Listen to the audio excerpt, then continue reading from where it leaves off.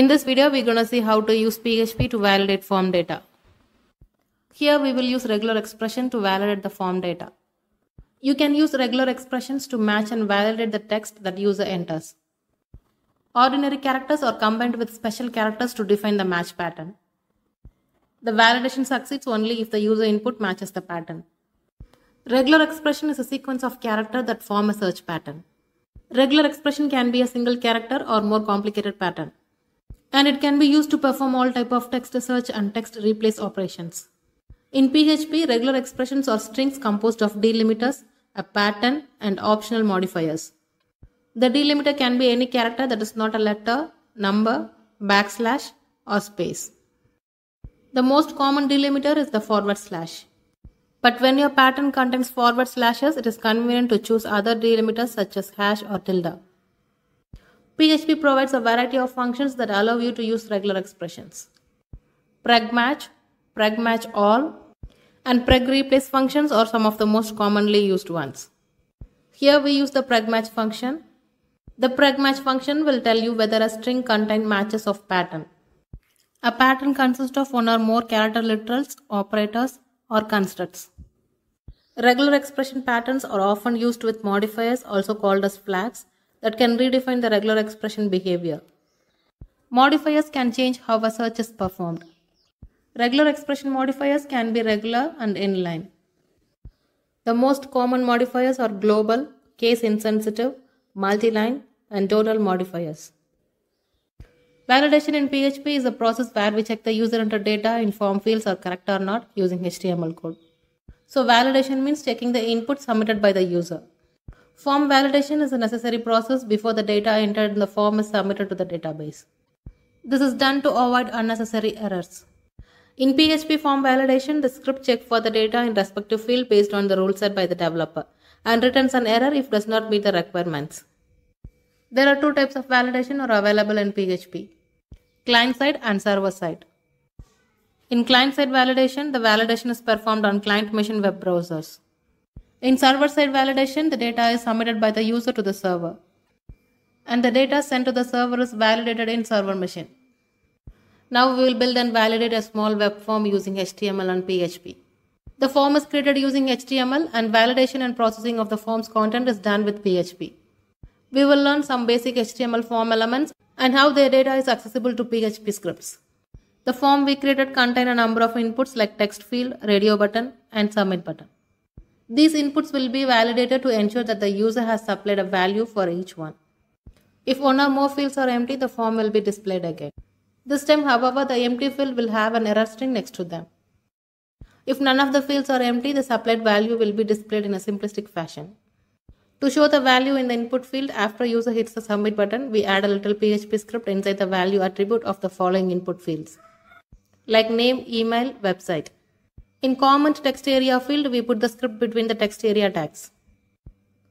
This little scripts will output the value of the name, email, website, and comment variables.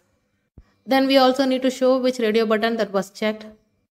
For that, we must manipulate the checked attribute. The PHP superglobals dollar underscore get and dollar underscore post are used to collect the form data. Both get and post create an array. This array holds key and pair values where key or the name of the form controls and value or the input data from the user. Both get and post are treated as dollar underscore get and dollar underscore post. These are super globals, which means that they are always accessible regardless of scope, and you can access them from any function, class, or file without having to do anything special. Dollar underscore get is an array of variable passed to the current script via the URL parameter, whereas dollar underscore post is an array of variable passed to the current script via HTTP post method. Information sent from the form with get method is visible to everyone. So get may be used for sending non-sensitive data, Never use get method for sending passwords or other sensitive information. Information sent from the form with the post method is invisible to others. All the names, values are embedded within the body of the HTTP request. And also there is no limit for sending amount of information. In get method, the variables are displayed in the URL, so it is possible to bookmark the page. Whereas in post method, the variables are not displayed in the URL, so it is not possible to bookmark the page. So developers prefer the post method for sending the form data. At start of the script, define variables and set to empty values. We check whether the form has been submitted using dollar underscore server request method. If the request method is post, then the form has been submitted and it should be validated. If it has not been submitted, skip the validation and display a blank form.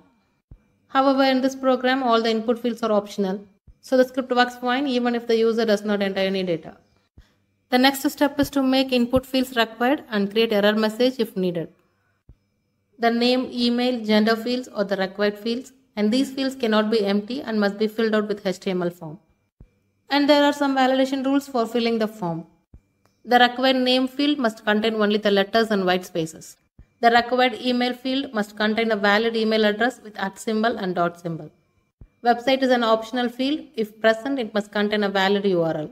Comment field is also an optional field. It is a multi-line input field text area. Gender is a required field. You must select one. Here we added some new variables with dollar symbol. These error variables will hold error message for the required fields.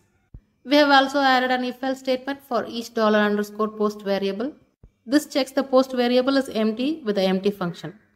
If it is empty, an error message is stored in different error variables and if it is not empty, it sends the user input data through the test input function. This line of code will check if the name field contains only letters and white spaces. This function is used to perform the pattern matching in PHP on a string. These two forward slash or regular expression delimiters. This operator indicates the start of string. This indicates any match on any letters or hyphen or single quote or space and this symbol indicates 0 or more of preceding character or element range. And this symbol indicates the end of the string. So this block of code will check if the name field contains letters, dashes, apostrophes and white spaces.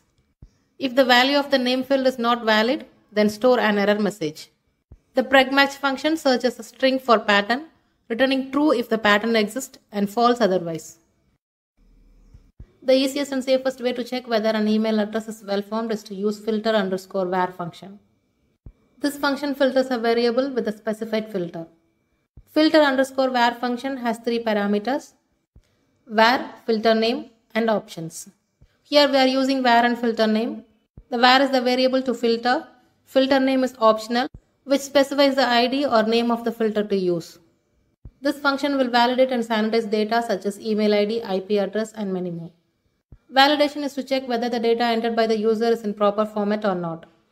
For example, validating an email, we check for at symbol in the email address. Sanitization process removes unnecessary and illegal characters from the data. Sanitization helps us to remove illegal characters entered by the user. To ensure the security of your website data, it is required to perform both sanitization and validation. This code snippet will check if the email address is well formed, then store an error message. With this block of code, we check if a URL address syntax is valid. If URL address syntax is not valid, then store an error message. This regular expression allows dashes in URL. This will check if the posted comment field is empty. Then set dollar $comment to empty string. If it is non-empty, then set this variable to the result of test input function with a comment as a parameter. Test input function is user-defined function. Look at this code. If no comment has been entered, then it will be empty. If it is not empty, then run the comment through the test input function. This block of code will check if gender was selected. At the end of PHP tag, add this function. Define the test input function that we are calling in the above if statements.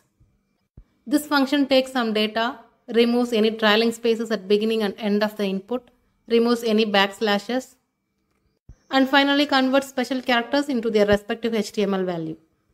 This will strip unnecessary characters like extra space, tab, new line from the user input data with a PHP trim function. This line of code will remove backslashes from the user input data with the stripslashes function. HTML special character converts the special character into HTML entities. Now we can check each dollar underscore post variable with test input function. We will pass all the variables through PHP HTML special character function. Here create a form and method post. This function prevents attackers from exploiting the code by injecting HTML or JavaScript code in forms. Dollar underscore server PHP self variable can be used by the hackers. If PHP self is used in your page, then user can enter the forward slash and then some cross-site scripting commands to execute.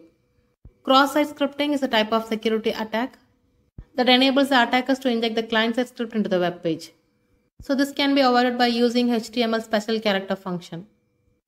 Create all the details required in the form like name and its input type would be text, email and website similarly. Comment would be the text area and gender and submit button as well. And here we have another PHP script to display all the details. This will display all the variables in the form.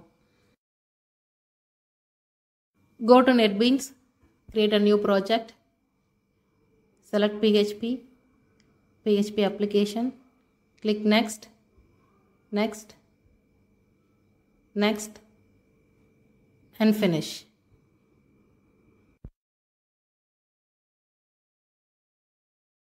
Now copy paste the code for index.php. Save and run the project. If you want to run a PHP file in a browser on your own computer, you need to set up a PHP development stack.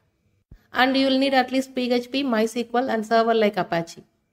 MySQL is used to set up database your PHP application can work with.